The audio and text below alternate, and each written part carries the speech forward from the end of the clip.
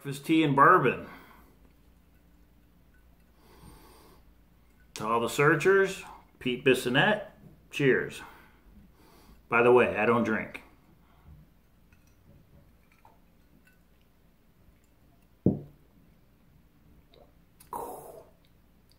Smooth. it's not bad. Whew. Don't know if I'm going to switch from coffee to that. it's pretty good. Let me look here. It's a nice bottle, huh? Buffalo Trace, Kentucky Straight Bourbon Whiskey. 45% alcohol. That's 90 proof. I drank this whole bottle, I bet I'd know where the treasure was. Anyway, breakfast tea and bourbon. I have the book on Kindle, so I can't show you the things as I go through these clues.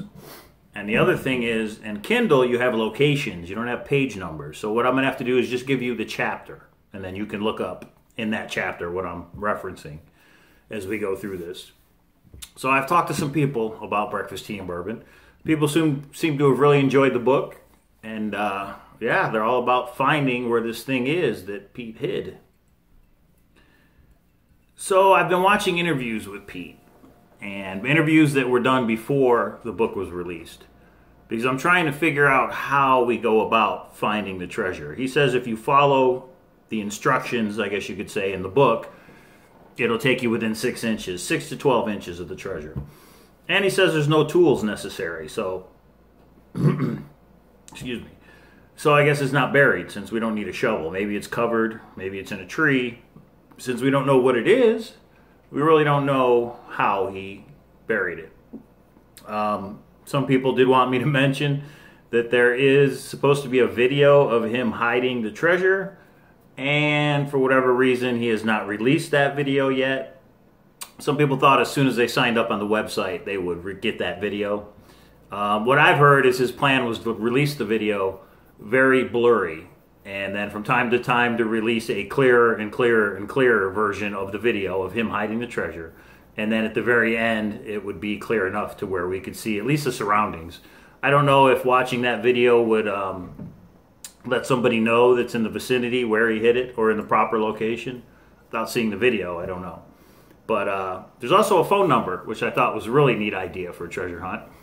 There's a phone number you can find on his Breakfast Tea and Bourbon website where he wants you to call and leave a message on where you've searched, how you've searched, how you like the book, um, where you think it is. And he beeps out all the important information as far as clues. And he uh, Whew. Mm. And he, uh, clearing my sinuses up over here. He, what was I talking about? Oh, the phone number. Sorry, it's going to be an interesting video if I keep drinking this. Um, the phone number, he wants you to call and let him know where you searched. Did I mention I don't drink? Yeah. I don't know how good of an idea this was. What a time to be out of coffee.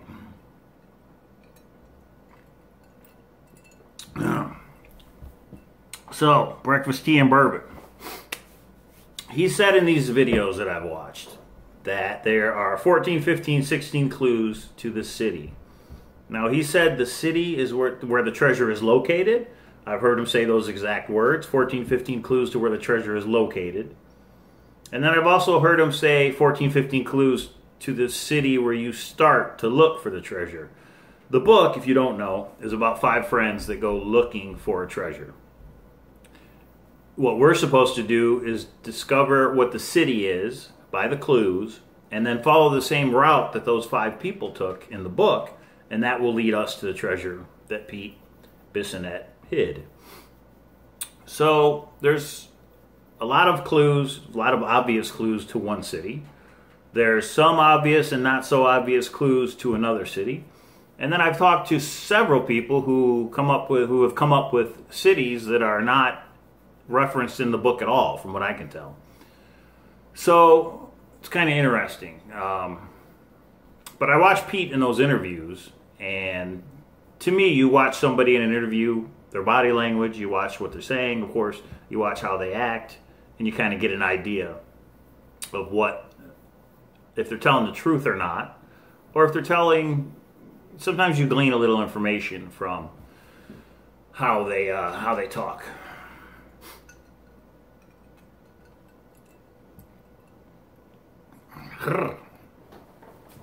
So, what I thought we would do is let's try and find the 14, 15, 16 clues to the city.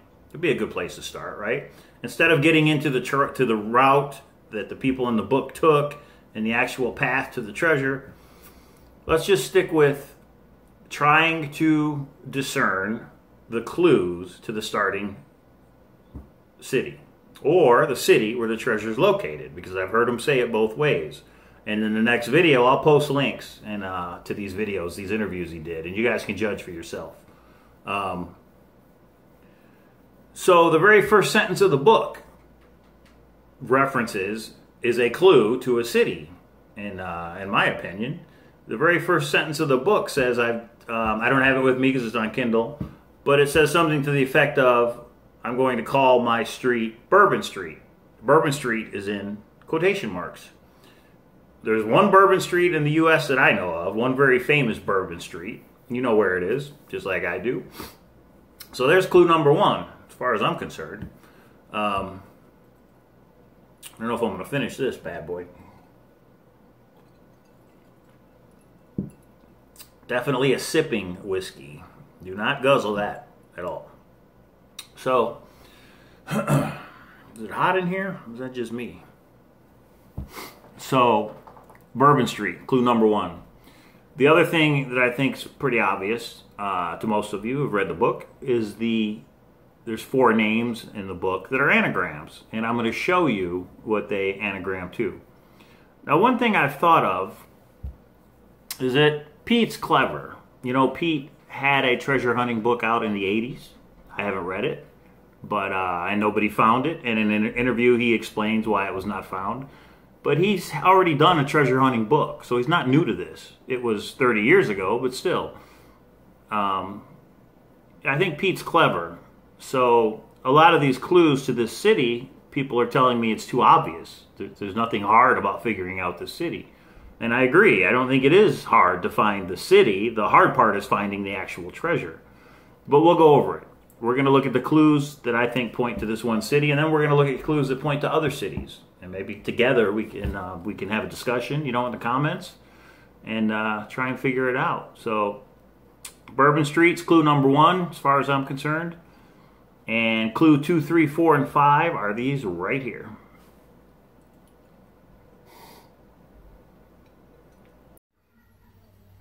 Okay, I had to change. I got real hot all of a sudden. Here are the names and the anagrams. Oh, something else. I got a bone to pick with Michaels. You know Michaels, the arts and crafts store?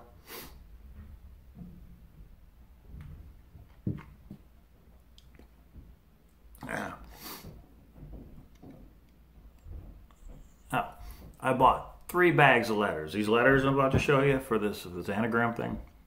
I bought three bags of letters. No letter K in all three bags. How is that possible? Come on, Michaels. Really? I already opened the bags to go through the letters, so how am I supposed to take it back? So I got no letter K. If you look in the intro to the video, look at the K, you'll see what I had to do. So if anybody out there's got a Scrabble game, you know, the old Scrabble game, you haven't used it in a long time, send it to me, would you? I need the letters. Send me the letters or if you have any tiles with letters on them or whatever, the address, it's down there. All right, let's look at the names. Okay, these are the names from the book. Nelson Ware, Earl Snowen, Larson A. Harisp. When you see Harisp, you know something's going on. Aaron or Aaron Philres. So, Nelson Ware. What is it? Hmm. What is that anagram to? Nelson. Wait a minute. Oops. Nelson. Already had an anagram. Nelson Ware. Uh, let's try this.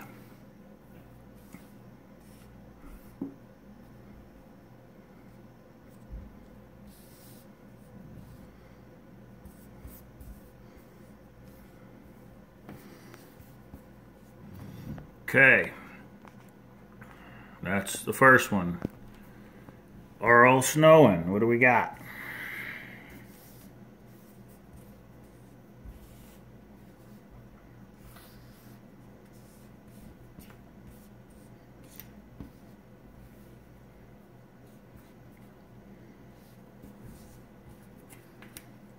Okay.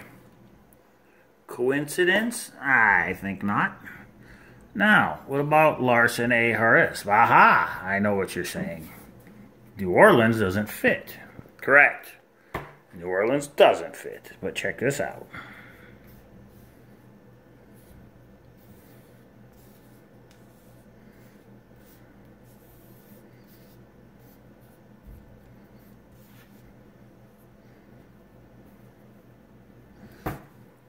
Orleans Parish.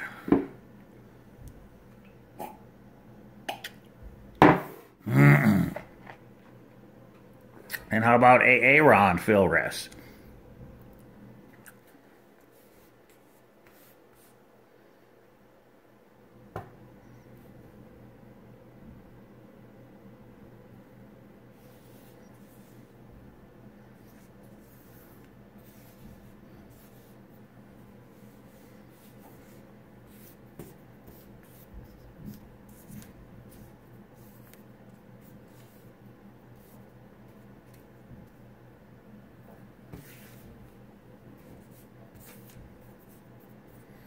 Okay, so we got New Orleans, New Orleans, Orleans Parish, Orleans Parish. So, oh. excuse me. Right there, we got four clues, right? And we take Bourbon Street, the first sentence of the book, and these four are by the end of the book, or toward the end of the book, by the way, or in the last chapter, next to last. And there we go. I think we know what the starting city is.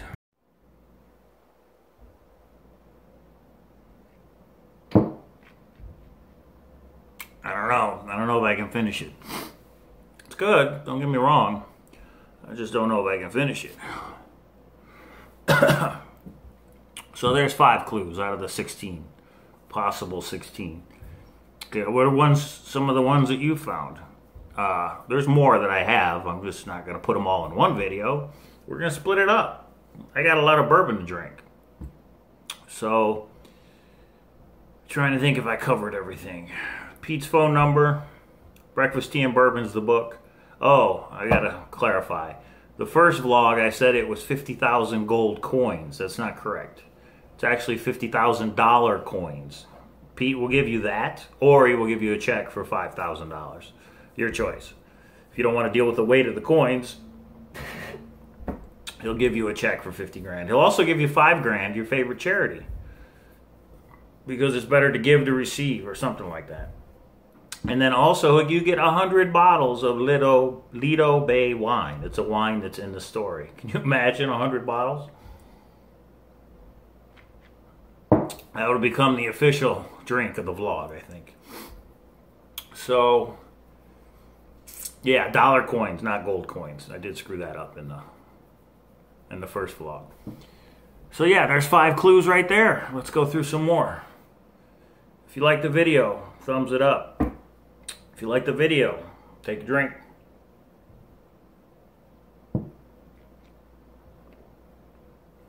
Share the video. Let other people know about it.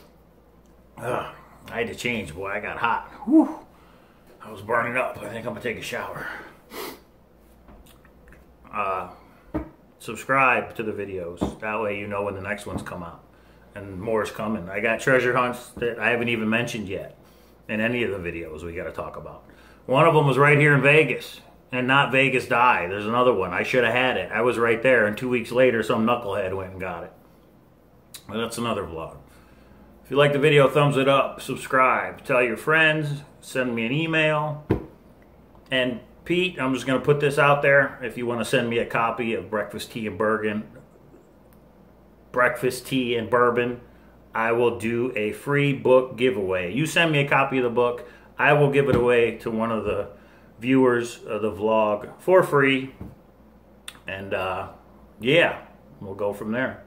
All right, I got to finish it, right? Cheers again.